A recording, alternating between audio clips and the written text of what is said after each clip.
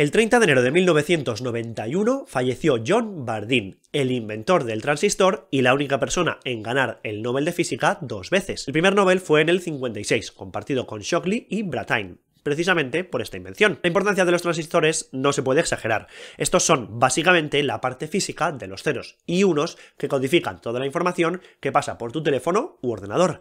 Su invención revolucionó la industria electrónica, haciendo posible el desarrollo de los dispositivos electrónicos modernos, marcando además el comienzo de la era de la información. El segundo Nobel lo recibió en el 72, compartido con Cooper y Schrieffer, por su teoría sobre la superconductividad, la primera que conseguía explicar este este fenómeno desde que fue descubierto en 1911. Al parecer, el rey de Suecia riñó a Bardeen cuando le entregó su primer Nobel, porque solo llevó a la ceremonia a uno de sus hijos, y Bardeen respondió que cuando ganara el próximo Nobel llevaría a todos sus hijos, y 16 años después cumplió su promesa.